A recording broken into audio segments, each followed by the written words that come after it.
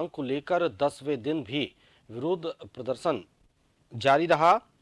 वहीं इस मामले में गिरफ़्तार दो लोगों को डीग कारागृह से रिहा कर दिया गया। इसके बाद उन्हें नगरपालिका से बैंडबाजों के साथ जुलूस के रूप में धरना स्थल तक लाया गया। इस दौरान इलियास खान और संत माखन दास का लोगों ने माला पहनाकर स्वागत किया।